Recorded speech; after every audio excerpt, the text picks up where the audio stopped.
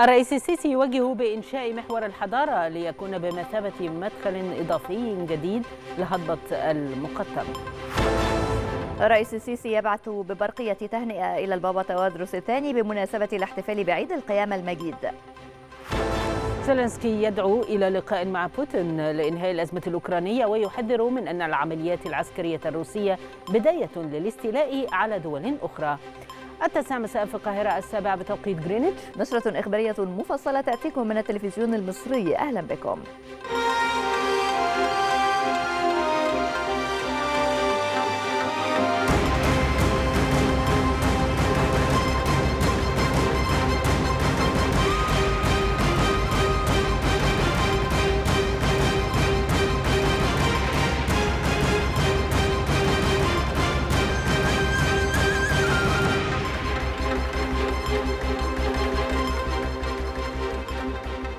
وجه الرئيس عبد الفتاح السيسي بالبدء في إنشاء محور الحضارة والذي سيكون مدخلا إضافيا جديدا لهضبة المقطم حيث سيربط بينها وبين منطقة متحف الحضارات وعين الصيرة وصولا إلى كورنيش النيل بالمعادي. جاء ذلك خلال اجتماع الرئيس السيسي مع لواء أمير سيد أحمد مستشار الرئيس للتخطيط العمراني ولواء أركان حرب إيهاب الفار رئيس الهيئة الهندسية للقوات المسلحة وعدد من المسؤولين.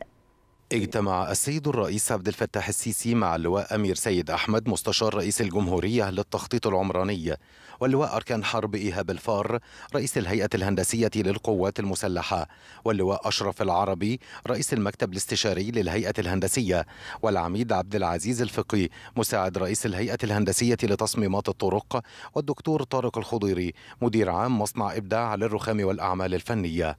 المتحدث الرسمي باسم رئاسة الجمهورية صرح بأن الاجتماع تناول متابعة الموقف التنفيذي لمشروعات الهيئة الهندسية على مستوى الجمهورية.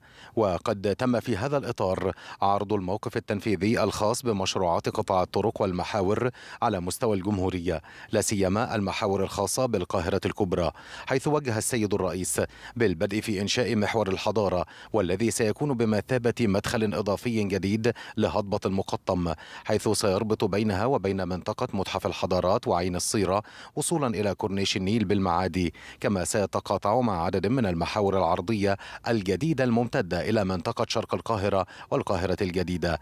كما وجه السيد الرئيس في ذات السياق برفع كفاءة وتوسعة المحور القديم المؤدي إلى المقطم من طريق صلاح سالم ليصبح خمس حارات في كل اتجاه بما يساعد على ربط هضبة المقطم بمختلف أحياء القاهرة بشكل سلس ويتيح انتقال المواطنين على نحو يسير كما تم استعراض جهود رفع كفاءة الطرق بمحافظة جنوب سيناء خاصة من نويبع إلى طابة فضلا عن الموقف التنفيذي لتطوير شبكة طرق الصعيد لا سيما ما يتعلق بمحور المراغة حيث وجه الرئيس بتعزيز سير العمل في تلك المحاور الجديدة المهمة على نهر النيل بهدف تسهيل الحركة وخدمة المشروعات التنموية والمجتمعات العمرانية الجديدة. وأضاف المتحدث الرسمي أن السيد الرئيس اطلع أيضا على جهود استغلال وتطوير المنطقة الخاصة بمحطة المونوريل في شارع يوسف عباس بمنطقة مدينة نصر بالإضافة إلى تطوير منطقة نادي الشمس والأراضي المحيطة بها إلى جانب استغلال الأراضي الفضاء الموجودة على جوانب المحاور والطرق بهدف تنفيذ الوحدات السكنية البديلة وكذا الموقف التنفيذي الخاص بمدينة السيارات العالمية. كما تناول الاجتماع سير العمل بعدد من المشروعات القومية على مستوى الجمهورية لا سيما مدينة الجلالة فضلا عن جهود تطوير مطار سانت كاترين ليتواكب مع التطوير الشامل للمدينة في إطار تنفيذ المشروع الروحاني والسياحي الضخم التجلي الأعظم فوق أرض السلام. وشهد الاجتماع كذلك استعراض الموقف التنفيذي للأعمال الإنشائية الجارية في عدد من منشآت ومرافق العاصمة الإدارية الجديدة خاصة اللمسات النهائية الخاصة بمسجد مصر والتصميمات الهندسية والزخرفية بدار القرآن الكريم. كذلك اللوحات الجدارية الخاصة بمدينة مصر الدولية للألعاب الأولمبية فضلا عن التنسيق الحضاري الخاص بمداخل العاصمة الإدارية لا سيما على الطريقين الدائري الإقليمي والدائري الأوسطي. بعث الرئيس عبد الفتاح السيسي ببرقية تهنئة إلى قداسة البابا تودروس الثاني بابا الإسكندرية بطريرك الكرازة المرقسية بمناسبة الاحتفال بعيد القيامة المجيد. وأكد الرئيس السيسي خلال البرقية أن تزامن عيد القيام المجيد مع شهر رمضان المبارك على أرض مصر مهد الرسالات السماوية هو دعوة إلى التمسك بالقيم الدينية النبيلة التي تدعو إلى قوة التلاحم والترابط وتعزيز روح التضامن والتآلف والتي تتجلى دوما في أبهى صورها على أرض هذا البلد العظيم على مر التاريخ. كما أرسل الرئيس السيسي ببرقية تهنئة مماثلة إلى أقباط مصر بالخارج لتهنئتهم بالعيد متمنيا لهم دوام التوفيق والسداد. وننتقل الآن إلى الكاتدرائية المرقسية بالعباسية لنقل قداس عيد المياه القيامة المجيد. برئاسة البابا تودروس الثاني بابا الإسكندرية بطريرك الكرازة المرقسية.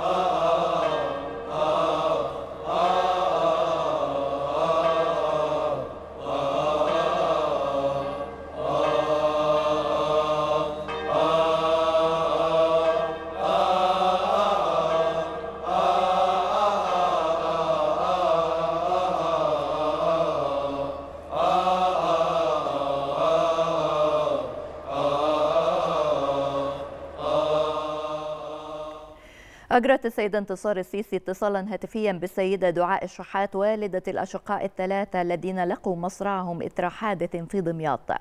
وأعربت السيدة انتصار السيسي خلال الاتصال أنه لا توجد كلمات يمكن أن تعبر عن الحزن والألم الذي يعتصر قلوب الجميع لهذا المصاب الجلل.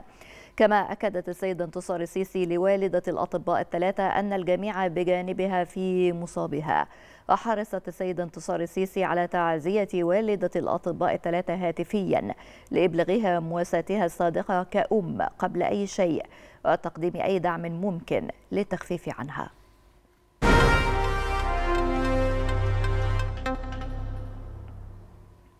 بعث رئيس مجلس النواب المستشار الدكتور حنفي جبالي برقية تهنئة إلى الرئيس السيسي بمناسبة حلول الذكرى الأربعين لتحرير سيناء. وخلال البرقية أكد رئيس مجلس النواب أن معركة النصر التي خاضتها قواتنا المسلحة الباسلة والتفاف الشعب حولها أثبتت أن شعب مصر تجمعه الشدائد وتتفجر طاقاته الكامنة بنداء الوطن إلى العمل والبذل والعطاء.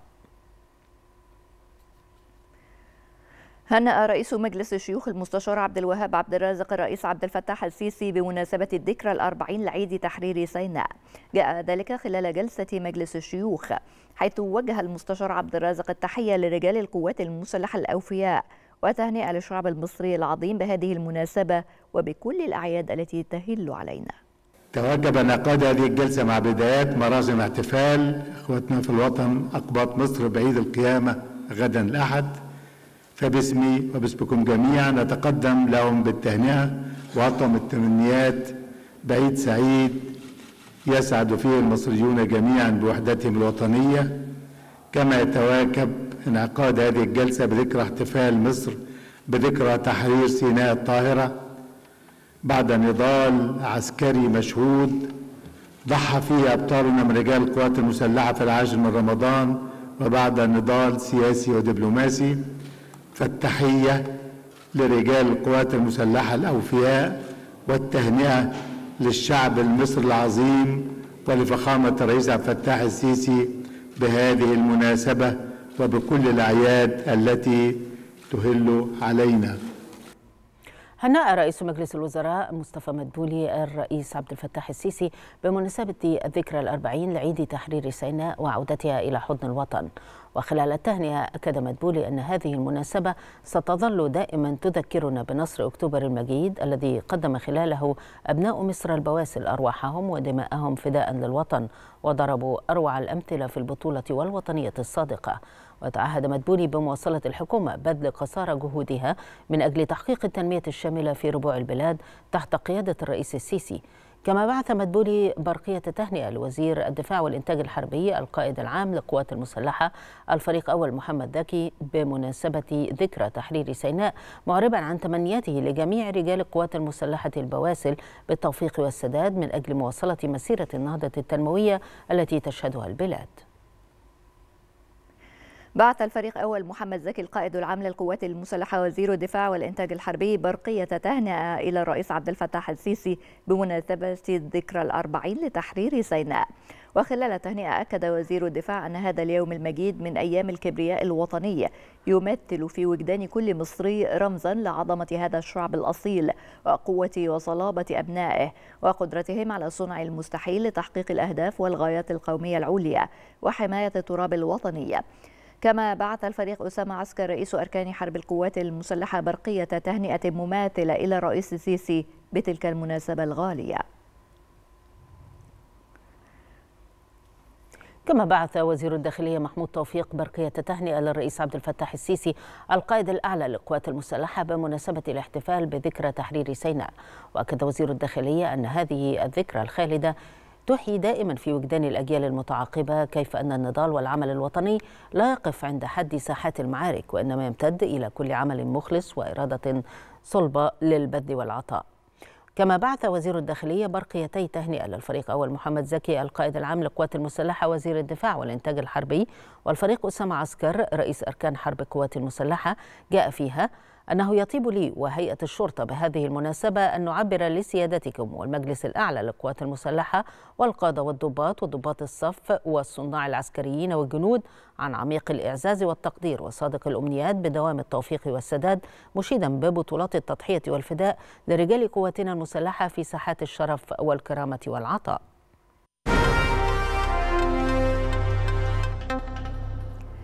أكد رئيس مجلس الوزراء مصطفى مدبولي أن قطاع الصناعة يحظى باهتمام كبير من جانب الرئيس السيسي الذي يكلف دوما بالعمل على تقديم كافة أوجه الدعم لهذا القطاع المهم ومواكبة أحدث التكنولوجيات المتوافرة في هذا القطاع على المستوى العالمي.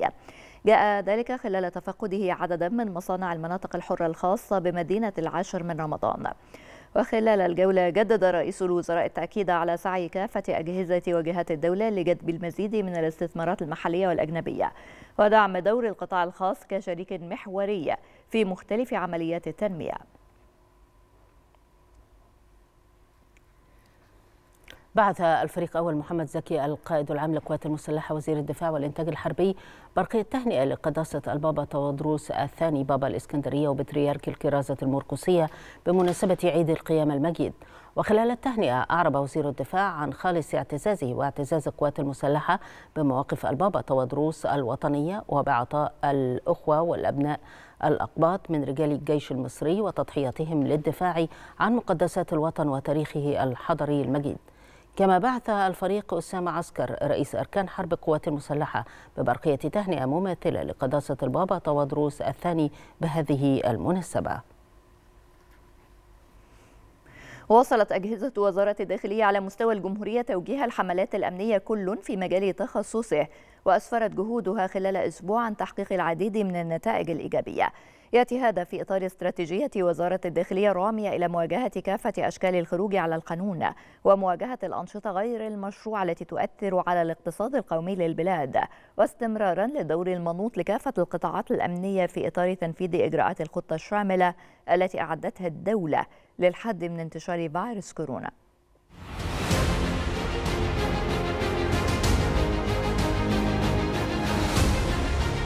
تتواصل جهود وزارة الداخلية على مستوى الجمهورية لمواجهة الجريمة بشتى صورها وعلى مدار أسبوع. نجحت أجهزة الوزارة في تحقيق نتائج متميزة في كافة مجالات العمل الأمني. ففي مجال قضايا الغش التجاري والتلاعب بالدعم أسفرت جهود وزارة الداخلية خلال أسبوع. عن ضبط 133 قضية بيع اسطوانات بوتاجاز في السوق السوداء. بمضبوطات بلغت 1005 أسطوانة بوتاجاز وضبط 13 قضية مواد بترولية بمضبوطات بلغت 13530 لتر مواد بترولية تم تجميعها لبيعها في السوق السوداء. إضافة إلى ضبط 9085 قضية تموينية بمضبوطات وزنت 2545 طن. و171 كيلو سلع غذائية متنوعة. كما تم ضبط 60 قضية في مجال ضبط قضايا حجب السلع الاستراتيجية. بمضبوطات بلغت 404 طن و878 كيلو سلع غذائية متنوعة. كما تم ضبط 2594 قضية في مجال البيع بأزيد من السعر. بمضبوطات بلغت 417 طن و647 كيلو سلع غذائية متنوعة.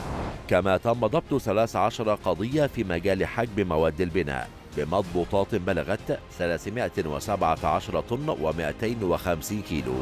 وضبط ثمانية قضايا بيع مواد بناء بأزيد من السعر. بمضبوطات بلغت 108 طن.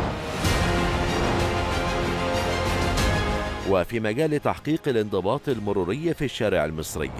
ضبطت أجهزة وزارة الداخلية خلال أسبوع 291101 مخالفة مرورية متنوعة من بينها.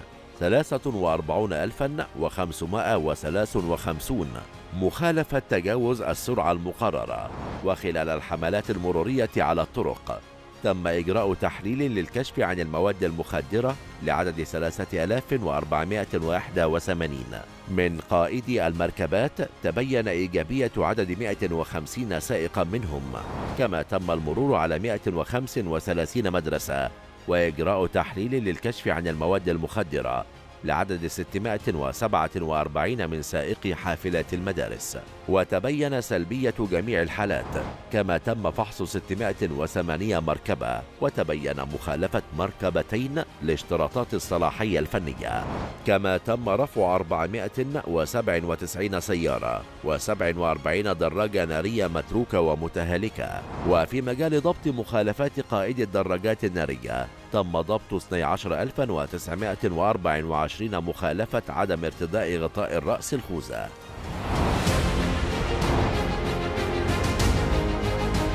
وفي مجال الأمن السياحي نجحت أجهزة وزارة الداخلية في ضبط 343 قضية ومخالفة أبرزها حيازة الآثار والحفر والتنقيب عن الآثار ومخالفات الشركات السياحية.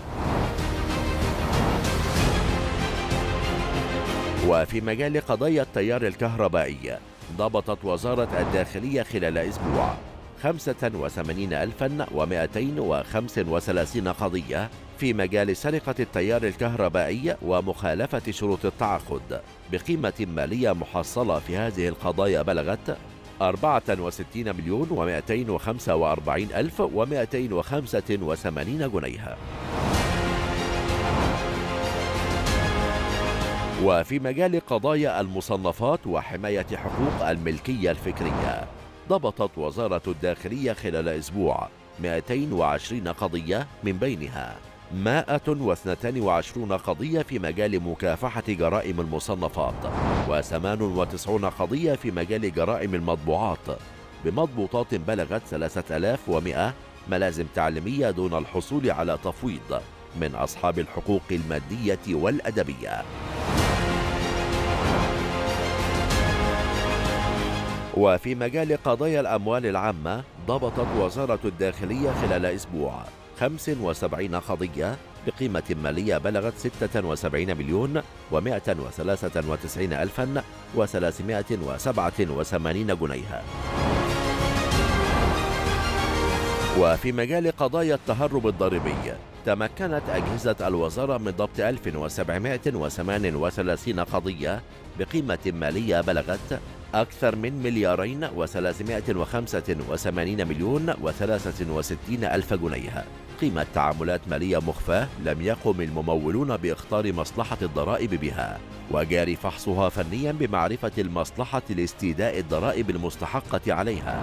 كما بلغت قيمة المبالغ المالية المسددة لصالح الخزانة العامة للدولة ثلاثة ملايين وثلاثمائة وخمسين ألفا وستمائة وتسعة وتسعين جنيها تواصل وزارة الداخلية حملاتها اليومية لمتابعة أسعار السلع الاستراتيجية وضبط قضايا حجب السلع والبيع بأسعار أزيد من السعر الرسمي حيث تمكنت خلال 24 ساعة من ضبط 382 قضية تموينية بمضبوطات أكثر من 69 طن مواد غذائية.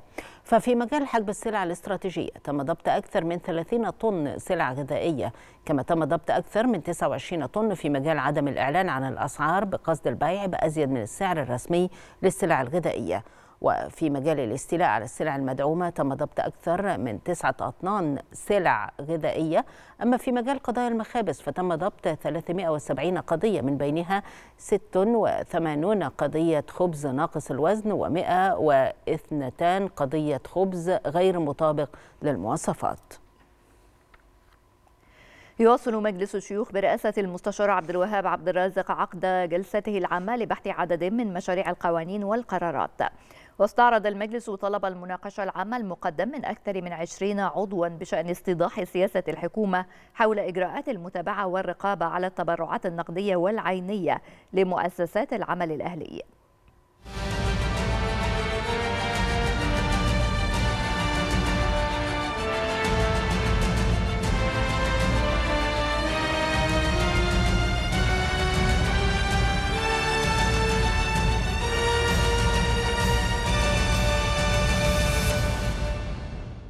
استأنف مجلس الشيوخ برئاسة المستشار عبد الوهاب عبد الرازق جلسته العامة لبحث طلب مناقشة عامة. المجلس استعرض طلب المناقشة العامة المقدم من النائبة سهى سعيد عبد المنعم وأكثر من عشرين عضوا بشأن استيضاح سياسة الحكومة حول إجراءات المتابعة والرقابة على التبرعات النقدية والعينية لمؤسسات العمل الأهلي وربطها بأوجه الصرف على الحالة المستحقة. انطلاقا من إيمانه العميق بأن جميع قطاعات المجتمع مدعوة للمشاركة في المشروع الوطني الشامل والذي تنفذه الجمهورية الجديدة في كافة ربوع المحروسة. قد أعلن أن العام الحالي هو عام المجتمع المدني. الأمر الذي يضع مؤسسات المجتمع المدني والجمعيات الأهلية أمام واجبها الوطني تجاه الوطن وأيضا مثلما حصلت على جميع حقوقها ويعني الحقيقة حريتها في ممارسة أعمالها المنوطة بها. ليه ما يتمش رقمنة الحالات نفسها؟ يعني النهارده يبقى في كارت للحالة آه كارت مثلا حالة آه حالة مستحقة الدعم أو مستحقين الدعم ده حتى بعد كده هيخليني أشوف ال ال الحالات دي بصورة أوضح وكمان هيتسق معايا مع القانون اللي هو قانون 149 لسنة 2019 مادة 15 فقرة ه اللي حتى بيمنع التمييز. وخلال الجلسة أكدت وزيرة التضامن الاجتماعي نيفين القباج على أن أموال الجمعيات الأهلية ومصادر التمويل تخضع لرقابة اللجنة الوطنية مشكلة من كل الجهات الرقابية والأمنية. وبعد انتهاء المناقشات التي امتدت لأكثر من ساعتين وافق مجلس الشيوخ على إحالة موضوع طلب المناقشة العامة والمناقشات التي دارت حوله إلى لجنة حقوق الإنسان والتضامن الاجتماعي لبحثه وإعداد تقرير عنه يعرض على المجلس. الرئيس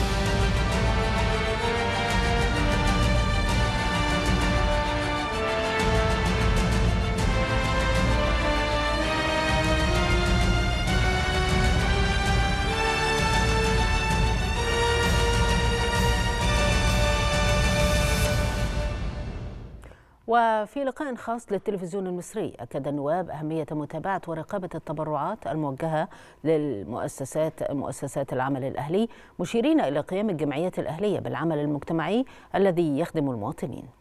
كان ضروري إن إحنا نعرف أكتر لأنه حجم التبرعات بالذات ال- اللي بيجم بيتم جمعها داخل مصر من خلال تراخيص جمع الأموال كان كبير ودي بتبقى أموال المصريين البسطاء. يعني اللي بيقدم التبرعات دي مش مش الأغنياء بس ولكن الم- المصريين البسطاء كمان بي وكمان بيكون فيها الزكاه فلوس الزكاه خلينا نقول إن ده خلينا نبقى عايزين نعرف أكتر إيه تكلفة إيه من من الجنيه إيه قيمة ال- المصاريف الإدارية أو الأصول اللي بتشتريها المؤسسة علشان تخدم بيها على أنشطة تنمويه فسألنا الوزارة النهارده فين دورك في مراقبة هذه الجمعيات اللي المفروض بتتلقى تبرعات لصالح المصريين تعبر عن المصريين. الحاجة الثانية اللي اتكلمت فيها هي المصاريف الإدارية للجمعيات الإهلية. إحنا طبعا شايفين إن المصاريف الإدارية مش آه، مطبقة بالطريقة المثلى. في حاجات كتير محتاجة إن الوزارة يكون مراقبة عليها علشان تبرعات المصريين تكون لصالح آه، المصريين.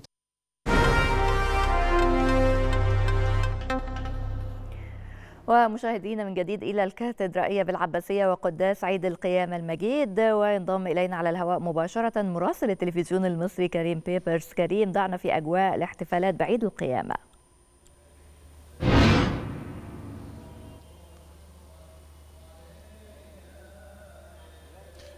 كل عام وأنتم بخير وكل عام وجميع المصريين بخير بمناسبة عيد القيامة المجيد بالفعل الاحتفال هنا على أشده العائلات والأطفال الرجال والسيدات. جاءوا بالفعل ليحتفلوا اليوم ويصلوا بسبت النور وصولا للساعة الثانية عشر مساء ليبدأ عيد القيامة المجيد وهو العيد الخاص بالتوقيت الشرقي هنا من الكاتدرائية المرقسية بالعباسية بحضور البابا توادرس بالطبع. يعني تحدثنا مع المواطنين الذين جاءوا على يعني أفضل الملابس الخاصة بالعيد وأنزاها. ربما أننا تحدثنا معهم جاءوا ليصلوا في هذا العيد ليحتفلوا سويا وليحتفلوا وليصلوا من أجل مصر وليصلوا أيضا من أجل الصداقة. والحب والسلام بعد 55 يوما من الصيام وأسبوع الآلام وخميس العهد والجمعة العظيمة. اليوم سبت النور وهذا النور الذي يأتي بالشموع هذا النور الذي لا يحرق. ربما تحدثنا أيضا مع المواطنين الذين يعني رصدوا وجود بعض الوزراء هنا في الكاتدرائية المرقسية وأيضا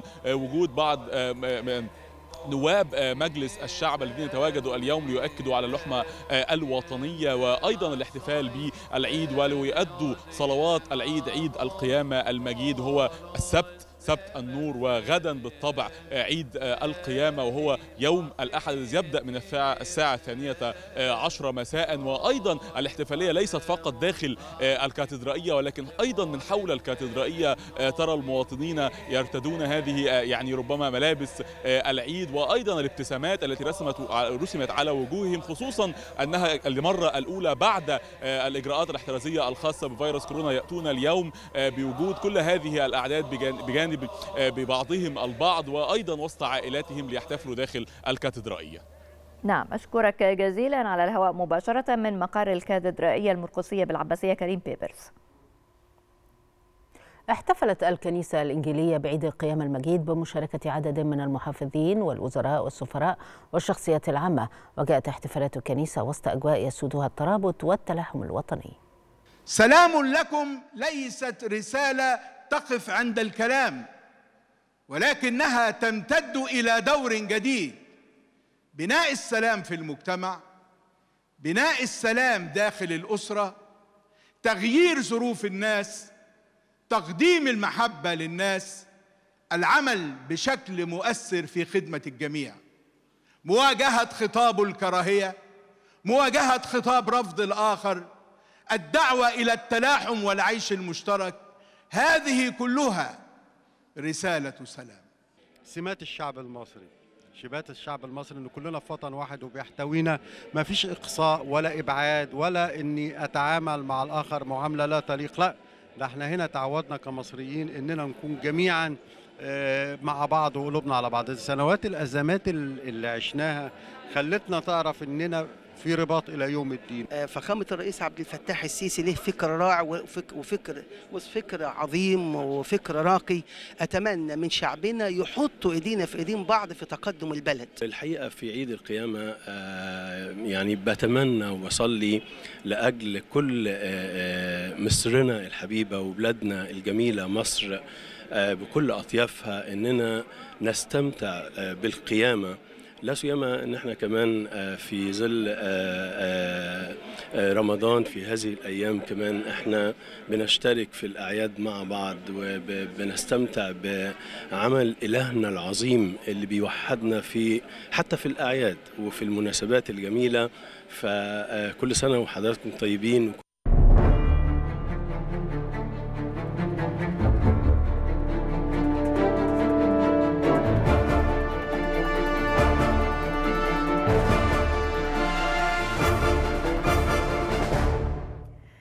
الرئيس الأوكراني فولوديمير زيلينسكي إلى لقاء مع الرئيس الروسي فلاديمير بوتين من أجل إنهاء العملية العسكرية في بلاده. وخلال كلمته ردا على تصريحات جنرال روسي بشأن رغبة موسكو السيطرة على جنوب أوكرانيا بالكامل حذر زيلينسكي من أن العملية العسكرية الروسية لبلاده مجرد بداية وأن موسكو لديها خطط للاستيلاء على دول أخرى. من جانبه اتهم المتحدث باسم وزارة الدفاع الأوكرانية أولكسندر موتسيانيك روسيا باستعدادها لتنظيم استفتاء في المناطق الأوكرانية الخاضعة لسيطرتها بهدف ضمها. دعت وزارة الدفاع الأمريكية البنتاغون أربعين دولة حليفة إلى اجتماع في ألمانيا الأسبوع المقبل لمناقشة الاحتياجات الأمنية طويلة المدى لأوكرانيا. وأوضح المتحدث باسم البنتاغون جون كيربي أن الاجتماع يهدف إلى إجراء مشاورات لبحث السبل التي يمكن لشركاء أوكرانيا من خلالها المساهمة في تعزيز قواتها العسكرية بعد الانتهاء من الحرب.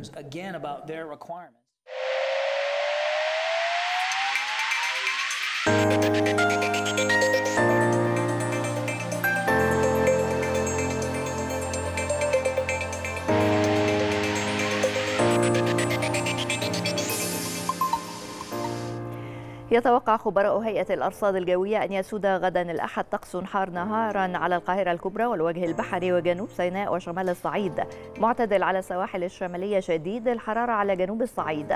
بينما يسود طقس مائل للبرودة ليلا على شمال البلاد حتى القاهرة الكبرى وشمال الصعيد معتدل على جنوب سيناء وجنوب الصعيد. وهذه درجات الحرارة المتوقعة غدا على بعض المدن والمحافظات وعدد من العواصم العربية والعالمية.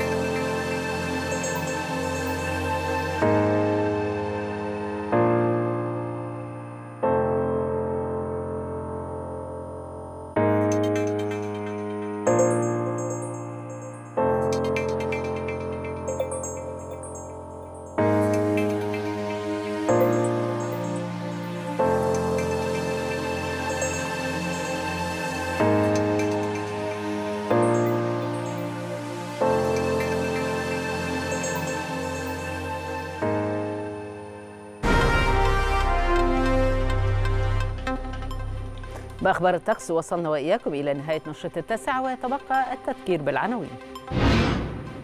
الرئيس السيسي يوجه بإنشاء محور الحضارة ليكون بمثابة مدخل إضافي جديد لهضبة المقطم. الرئيس السيسي يبعث ببرقية تهنئة إلى البابا توادروس الثاني بابا الإسكندرية وبطريرك الكرادة المرقسية بمناسبة الاحتفال بعيد القيامة المجيد.